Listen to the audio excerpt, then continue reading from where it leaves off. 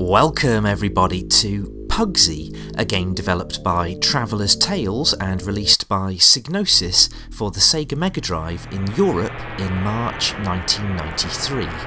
I'm Cenozoic and I'm here to take on this game. Puggsy is a puzzle platform game focused on the title character, an orange space hopper like alien who has become stranded on a planet 15 light years away from his home. Puggsy is trying to return home by regaining his spaceship, which has been stolen by the raccoon natives of the planet. To reclaim his spaceship and leave the planet, Puggsy must overcome obstacles and traverse the levels of the island on which the game is set.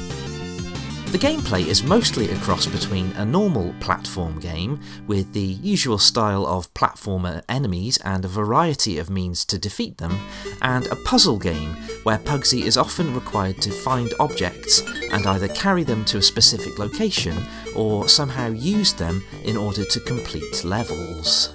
As you will see, objects react on a clever physics-based system, which was an innovative feature at the time of the game's release. The system allows objects to be thrown and stacked, or to topple if stacked without care. Also, any objects carried out of the level exits give different score values, or in the case of the heart object, an extra life. In this video I'm going to guide you through the levels of the game's first area, which take place on the coast and build up to a boss battle with Polly Pirate, who appropriately is an oversized parrot enemy. So let's begin.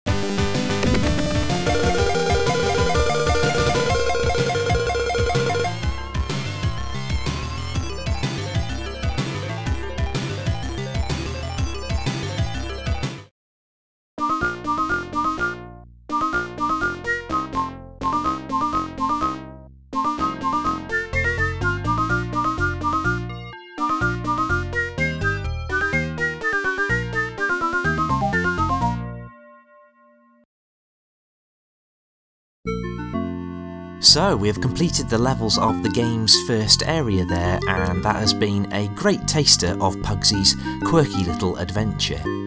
Certain sections can be quite difficult to get through and the gameplay can be a little repetitive, but the graphics and music are excellent and the game features a lot of attention to detail, making for a memorable gaming experience. That brings us to the end of our time with Puggsy and I hope you have enjoyed this video. I'm Cenozoic. Thanks for watching.